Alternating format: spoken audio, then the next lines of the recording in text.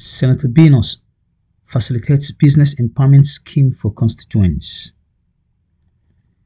In a bid to alleviate poverty and promote self-reliance, Senator Binos D. Roy, the lawmaker representing Adamawa South Senatorial District on Thursday, successfully facilitated National Business Development Empowerment Scheme Initiative NBDSI for his constituents.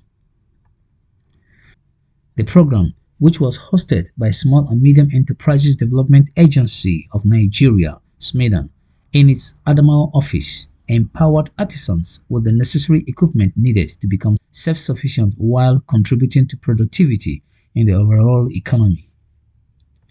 The program was aimed at alleviating poverty and creating job opportunities. It's also a great economic tool to make constituents self-reliant.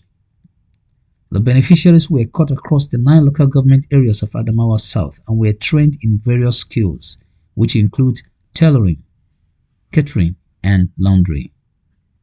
Caleb Zadok reporting for Eagle TV.